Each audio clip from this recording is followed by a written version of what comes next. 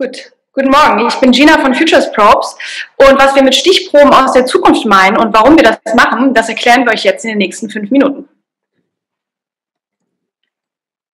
Vorab eine kleine Begriffsklärung. Wenn wir von Zukunftsbildern sprechen, dann meinen wir die Vorstellung in den Köpfen von Menschen über Zukunft und die damit verbundenen Wünsche und Hoffnungen.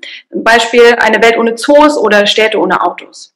Diese Zukunftsbilder sind wichtig, denn nur das, was wir uns vorstellen können, das können wir auch gestalten.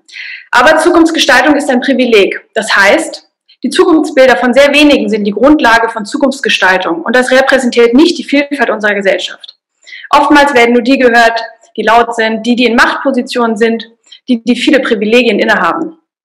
Das ist nicht repräsentativ, das ist nicht inklusiv, das ist nicht demokratisch und das ist vor allem auch nicht fair. Denn Zukunftsbilder sind sehr vielseitig. Jeder Mensch hat Zukunftsvorstellungen, Zukunftswünsche und Hoffnungen bezogen auf die Zukunft. Weil Zukunft uns alle etwas angeht, sind alle Zukunftsbilder gleich viel wert und müssten alle sichtbar sein. Denn wir alle haben das Recht, mitzusprechen und Gesellschaft mitzugestalten. Und genau da setzen wir mit Futures Probes an. Mit Futures Probes unterstützen wir Menschen zum einen, sich konkrete Gedanken über ihre Zukunftswünsche zu machen und diese auszuformulieren. Wir machen diese Zukunftsbilder in ihrer Vielseitigkeit sichtbar und greifbar und wir machen die Zukunftsbilder für andere nutzbar und schaffen Wirksamkeit. Indem wir Zukunftsbilder sammeln, nehmen wir letztendlich Stichproben von verschiedenen möglichen und wünschbaren Zukünften und machen diese auf unseren Petrischalen für alle sichtbar. Das machen wir mit Hilfe eines Online-Zukunftsfragebogens, einer Online-Galerie zu den verschiedenen abgegebenen Zukunftsbildern sowie schließlich mit partizipativen Formaten und Publikationen. Und wie genau wir das machen, das zeigt Katrina euch jetzt auf unserer Website. Hallo zusammen. Wir befinden uns jetzt auf der Startseite von Futures Probes. Wie ihr sehen könnt, könnt ihr direkt schon heute mitmachen, wenn ihr wolltet. Ihr müsst nur hier auf Mitmachen klicken und so befinden wir uns sofort auf der Mitmachseite. Hier werden noch einzelne Rahmenbedingungen äh, gezeigt und ein kurzer Überblick über den Zukunftsfragebogen. Dieser ist insgesamt in fünf Schritte aufgeteilt und leitet die Teilnehmerinnen durch etablierte wissenschaftliche Zukunftsmethoden zu konkreten wünschbaren Zukünften. Ganz konkret sieht der Zukunftsfragebogen dann so aus. Er ist momentan noch in der Beta-Version auf Google Forms zu finden. Im ersten Schritt fokussieren sich die Teilnehmenden auf ein Problem oder eine Herausforderung bezogen auf das gewählte Thema. In weiteren, in weiteren Schritten wird aus diesem Problem etwas Wünschbares und konkretisiert. Im letzten Schritt schreiben die Teilnehmenden einen Brief aus ihrer Zukunftswelt, welcher dann auch Teil der Online-Galerie wird. Hier nochmal kurz der Ablauf. Nach dem Ausfüllen des Zukunftsfragebogens prüfen wir von Futures Proofs ihn und erstellen eine Visualisierung und veröffentlichen dann das Ganze auf unserer Online-Galerie. Hier sind schon mal die ersten Zukunftsbilder zu unserem aktuellen Thema deutscher Tourismus zu sehen. Und ein Zukunftsbild kann im Detail dann zum Beispiel so aussehen. Ansonsten kann man auf der Website neben Informationen über Zukunftsforschung natürlich auch noch mehr über die Köpfe hinter Futures Probes erfahren.